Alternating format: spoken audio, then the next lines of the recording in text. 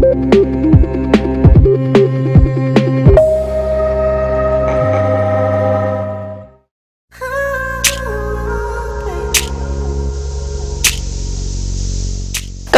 ibu susah menghadapi anak yang susah makan. Kondisi tersebut membuat orang tua merasa kewalahan. Nah, ada berbagai cara untuk mengatasinya. Satu di antaranya mengajak makan bersama.